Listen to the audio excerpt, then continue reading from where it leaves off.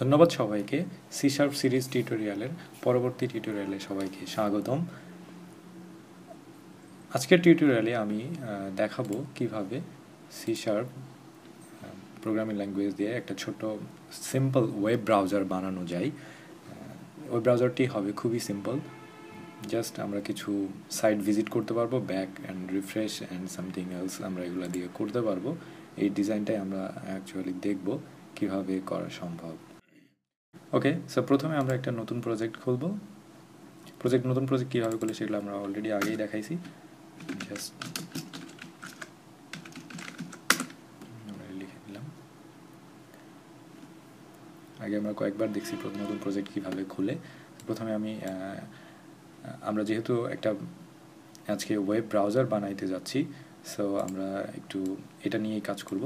প্রথমে আমি form নেমটাকে change করি। এটা খুবই সিম্পল একটা ওয়েব ব্রাউজার হবে। ফর্ম নেমটাকে প্রথমে আমি চেঞ্জ করব। ফর্ম নেম যদি আমি চেঞ্জ করি এবং এটার নাম দিব হচ্ছে web browser okay then web browser is coming so প্রথমে একটা নর্মাল ওয়েব ব্রাউজারে কী কী এলিমেন্ট থাকে সেগুলোকে আমরা আগে অ্যাড করার চেষ্টা করব। সো আমরা প্রথমে কিছু বাটন এখান থেকে নিয়ে নিব যে কটা এলিমেন্ট লাগবে সেগুলোর জন্য।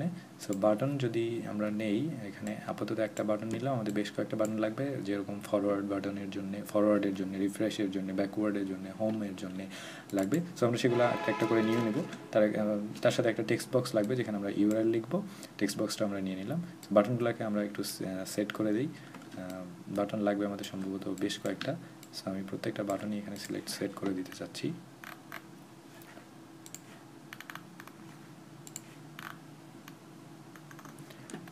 ওকে এই যদি হয় সো আমাদের এটা এটা ব্যাক বাটন এটা ফরওয়ার্ড বাটন এটা রিফ্রেশ বাটন অ্যান্ড এই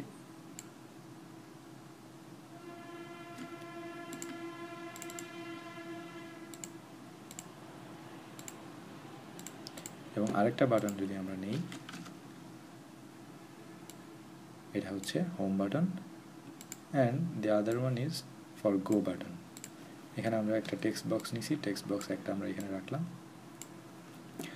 সো আমরা এখন এখানে দেখতে পাচ্ছি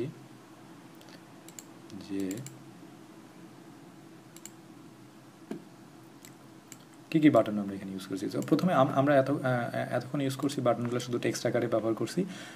সো এখন আমরা দেখব যে বাটনগুলো অ্যাকচুয়ালি যদি বাটনে আমরা ইমেজ ইউজ করতে চাই লাইক আইকন ইউজ করতে চাই, সেভাবে সেটা কীভাবে করব সেটা আমরা এখন, এখনই শিখে নিব। সো আইকন আইকনের সাথে আমরা লেখাও রাখতে পারি আদারওয়াইজ জাস্ট আইকন ইউজ করতে পারি। তো আপাতত আমি শুধুমাত্র আইকনই ইউজ করব, লেখাটা তো পাশে লিখলেই চলবে, এটা তো আমার তো আমার আমারই কিছু না।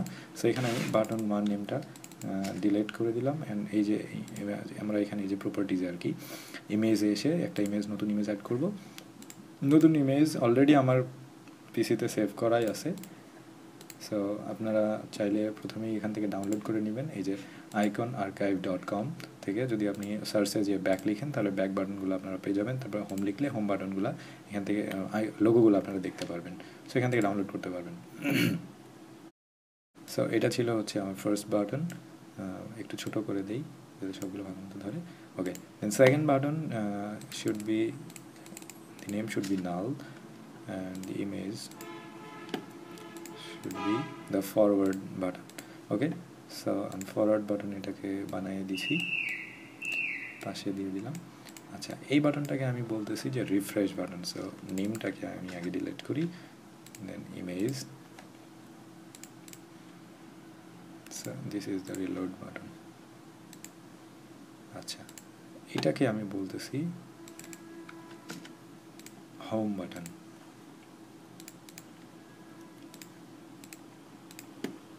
okay so this is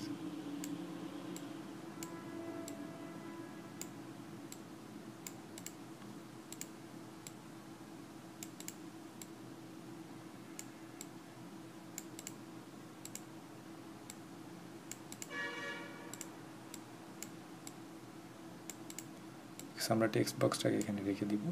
text box এবং এটা হচ্ছে আমাদের গো বাটন আমি যদি এখানে লিখে দিই, এবং এটার টেক্সট সাইজটাকে আমি একটু বাড়াই দিই, তাহলে দেখতে ভালো লাগবে। না, এত বেশি না। Eleven eleven is okay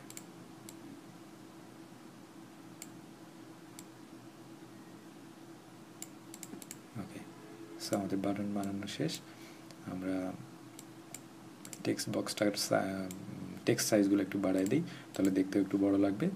So twelve it can be thirteen okay so এই যে আমাদের টেক্সট বক্স সাইজ এবং গো বাটন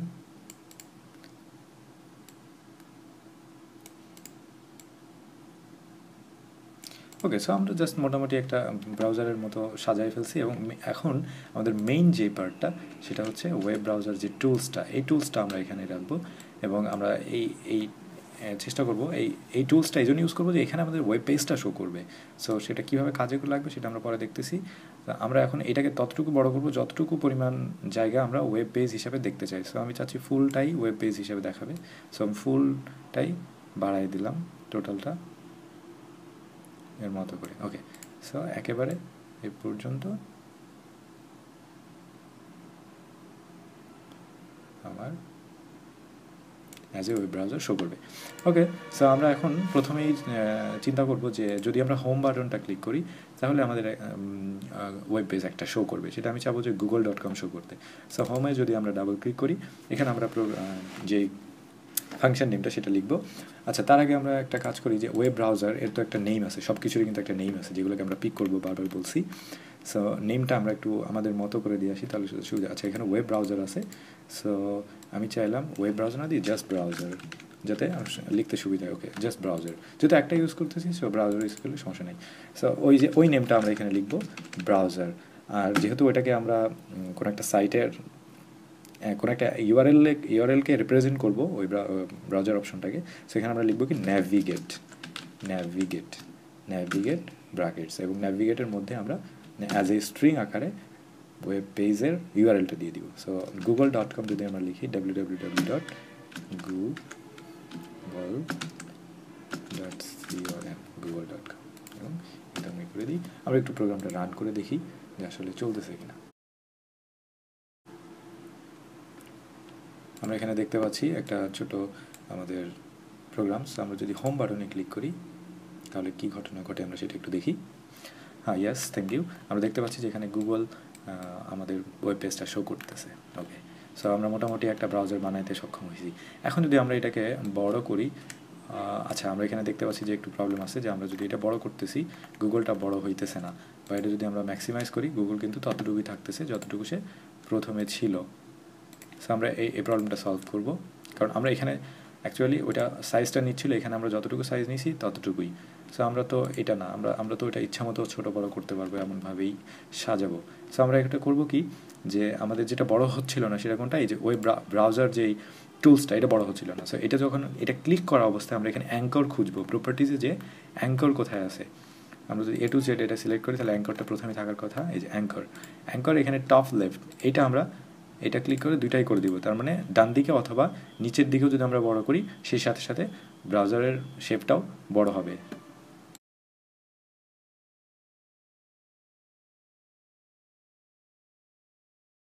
আচ্ছা আমরা যে প্রবলেম ফেস করতেছিলাম, সেটা হচ্ছে ক্লিক করার পর যখন গুগল আসতেছিল, সেটা হচ্ছে এখন এখন যদি আমি এটা বড় করি সো গুগল বড় হচ্ছে। সো আমাদের যেটা কাজ ছিল যে হোম বাটনে ক্লিক করলে আমাদের হোম পেজ আসতেছিল। তো এখন এখন মেইন আরেকটা যেটা কাজ, সেটা হচ্ছে যদি আমরা টেক্সট বক্সে কোনো ইউআরএল লিখে গো বাটনে ক্লিক করি, তাহলে যেন সেই ইউআরএলে যাই।